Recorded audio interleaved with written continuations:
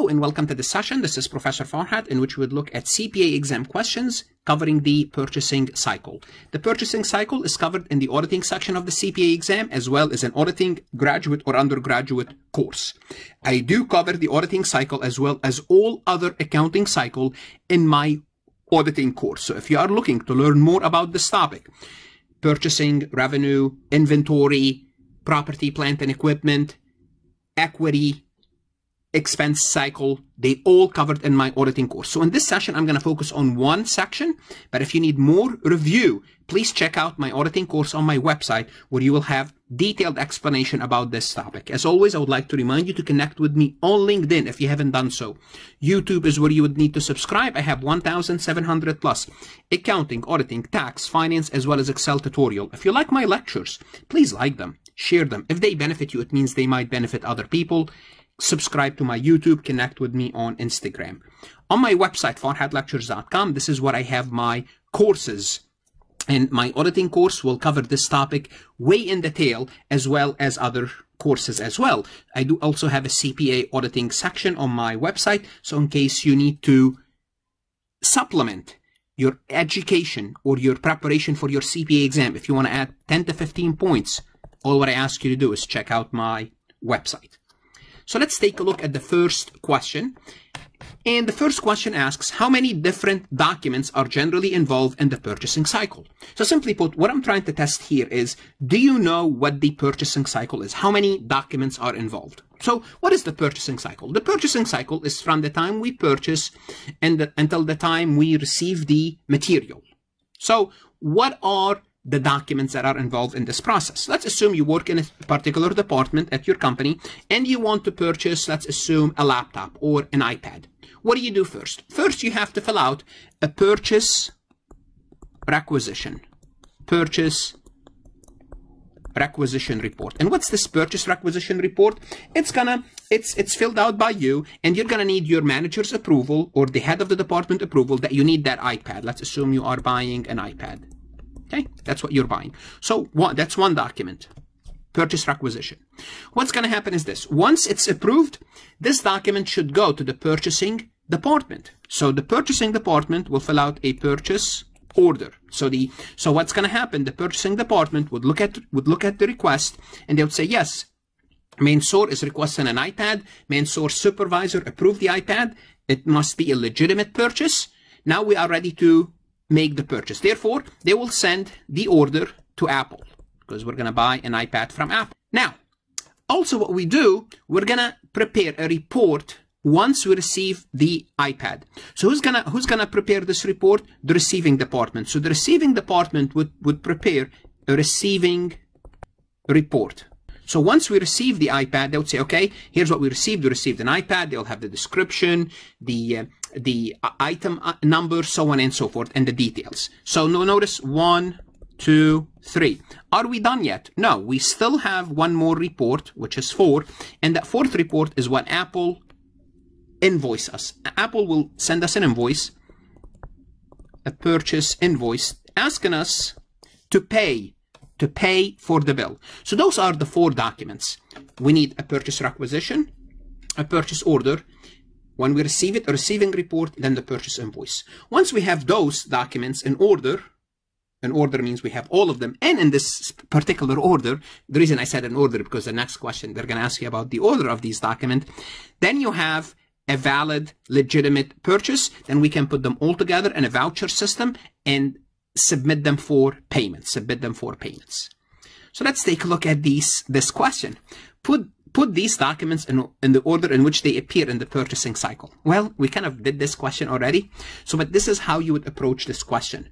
Well, if you know that the purchase requisition is the first document. If you already know this, immediately you could eliminate C and D. So if you know the purchase requisition is the first document, then you're already down to 50-50. Then, after the purchase requisition, comes the purchase order. Once it's approved, now you can ask them to prepare the order. The purchasing department will, will prepare the purchase order. So this is the purchasing department.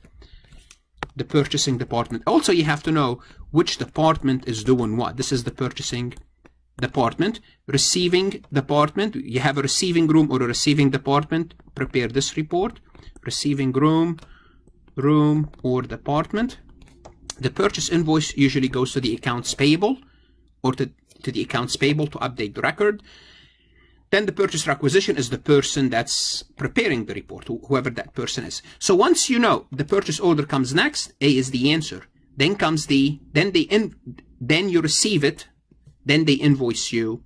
Therefore, the answer is A. The answer is A. Let's take a look at this question. In a purchasing cycle that uses a voucher system, good internal control dictate that which of the following departments should be responsible for signing the check and mailing the check to the vendor. So who should sign and mail the check? Well, look, should the accounts payable, the voucher payable, signs the check? And the answer is definitely no. Why? Because payable is accounting. Accounting should not have access to cash. So once we eliminate B and D, we're down to A and C. So it's the cash disbursement. Now, the cash disbursement, usually it's the treasury person that signs the check. But the question becomes, who mails the check? Do you sign the check and send it back to the voucher payable, to the accounts payable department and ask them to mail it? No, that's bad. Again, accounting should not have access to cash.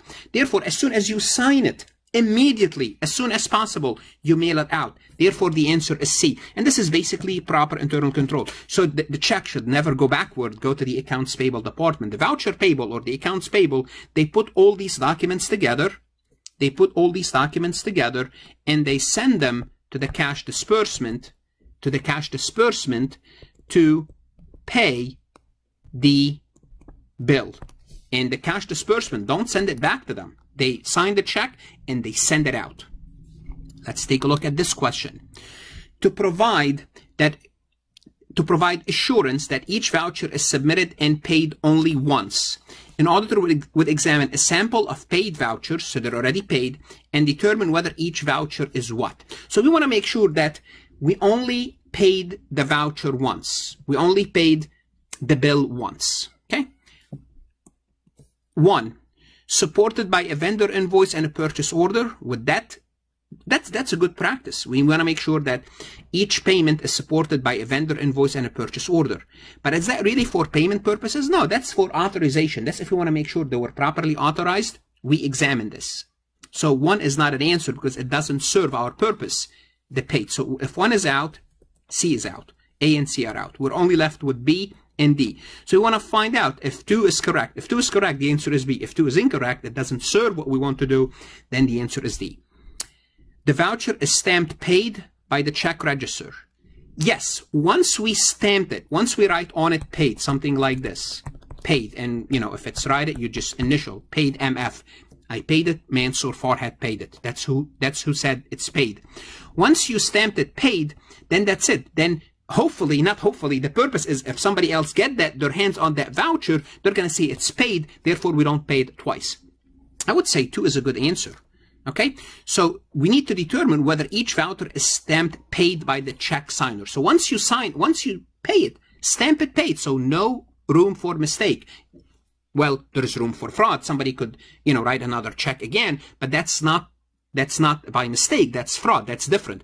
For a good internal control, stamp it paid. So this way, if somebody sends another check, it's easier to kind of determine whether, whether it's fraud or by error. We will tell them, look, didn't you see it's stamp paid? Why did you pay it again? Okay, so that's part of it. Because they can claim, I did not know it was paid. Well, it was paid. Don't pay it again. Let's take a look at this question. An auditor vouches a sample of entries in the voucher register to the supporting document. So here you're going backward.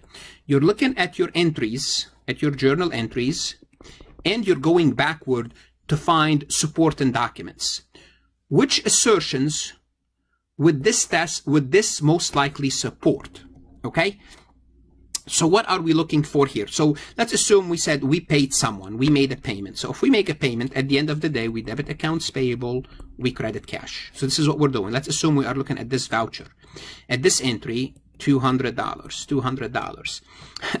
it's, it's, I'm, I'm sorry, I'm laughing because at some point, I still remember um, when I was doing when I was doing audit, I would I would I, I would do this, and sometime I would select payments like, and one time it was for toilet papers. So I wanted to make sure that indeed they purchased toilet papers. So what I do is you will take the, the entry, then you go backward to see why did we make, why did we make this payment? Do we have support and document? I still, I still laugh about it that it was, it, it was a toilet paper. It just, it's, it's something that came to mind now, came to my mind now. So what are you doing when you do so, when you're going backward?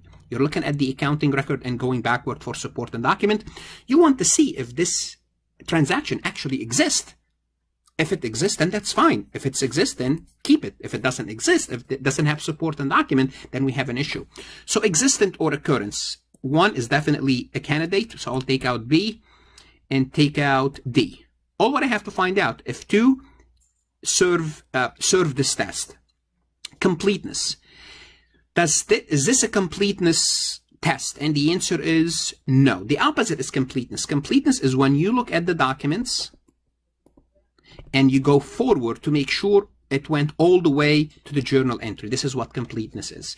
So you want to make sure the difference between existence, occurrence, and completeness and all these uh, terms. So the answer is A. And how do you, how do you, how do you learn all of this? Well, you either learn it in college, good for you. If not, go to my auditing course on my website, farhatlectures.com, where I have plenty of explanation about these topics. This is what you need, my auditing and attestation. The good thing about my website is once you subscribe, you have access to everything, especially additional CPA resource material. Look, CPA is a lifetime investment. Take it seriously. Don't shortchange yourself. Study hard. Good luck. I'm here to help you and stay safe if you are still living through the coronavirus.